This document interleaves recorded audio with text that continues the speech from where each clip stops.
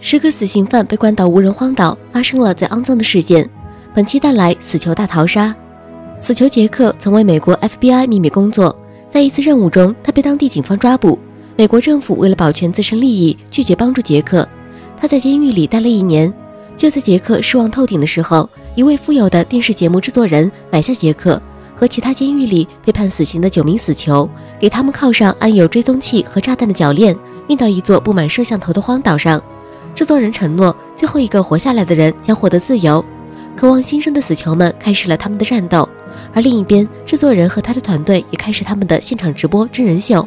小黑是一位泼辣的非洲小妞，刚被扔下飞机，就被一名壮汉给看上了。壮汉想要强奸她，两人一番打斗。处于劣势的小黑拼死抵抗，趁机一脚踹在壮汉的命根子上，捡起地上的树枝往壮汉的脖子上插，血喷涌而出，壮汉倒地。小黑赶紧启动壮汉脚上的炸弹，嘣的一声，壮汉出局。另一边的杰克并不想加入这场游戏，尽量躲避，却还是被人盯上了。两人不相伯仲，打斗间，两人翻滚来到悬崖边上，警报响起，原来是大块头的炸弹按钮在翻滚间不小心被启动。大块头想要拉着杰克一起陪葬，却被杰克一脚给踹下悬崖。又一名犯人出局。随着播放率的上升，美国联邦调查局才开始调查。而杰克的真实身份也在慢慢的浮出水面。调查局找到杰克的女朋友，询问杰克的消息，女友这才得知杰克的去向。女友借来电脑，登录上网站，寻找着杰克的身影。另一边，和杰克有着同样军队背景的英国囚犯联合日本囚犯强奸并杀掉墨西哥人的妻子，墨西哥人则被打成重伤逃跑。正好被杰克遇到，好心的杰克救下了墨西哥人，安顿在隐蔽处。随后，只身一人潜伏到直播室的气象站，打电话给女友。接到电话的女友潸然泪下，告诉杰克调查局在找他。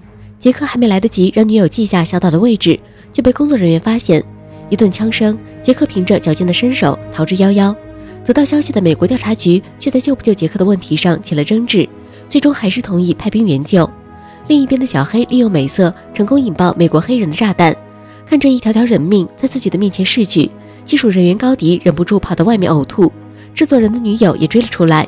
两人决定一起去劝说制作人结束这场游戏。制作人扇了女友一巴掌，女友生气的扭头就走。制作人又以钱财来诱惑高迪时，高迪妥协了。杰克回去找墨西哥人，发现英国囚犯和日本囚犯在虐待墨西哥人。想要阻止暴行的杰克还是晚了一步，看着墨西哥人活活被烧死。借着人多势众，两人追杀杰克。寡不敌众的杰克赶紧逃跑，躲到一座石屋里，却被藏在里面的小黑偷袭。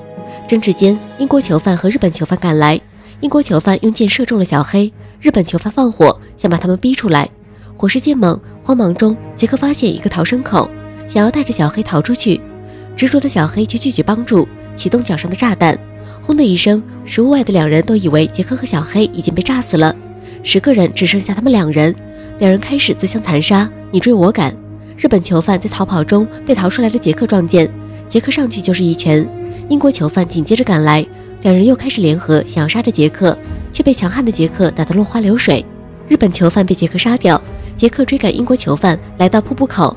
而在直播室看上瘾的制作人不想就这样结束，派直升机给处于劣势的英国囚犯送装备机枪。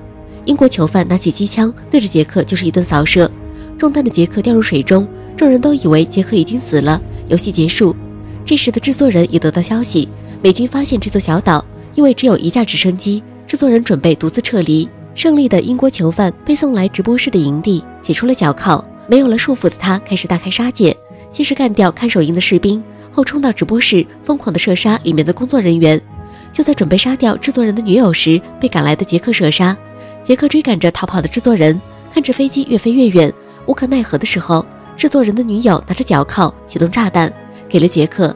杰克用力一扔，炸掉了直升机。活下来的杰克在美国海军的帮助下回到家中，和女友幸福的生活在一起。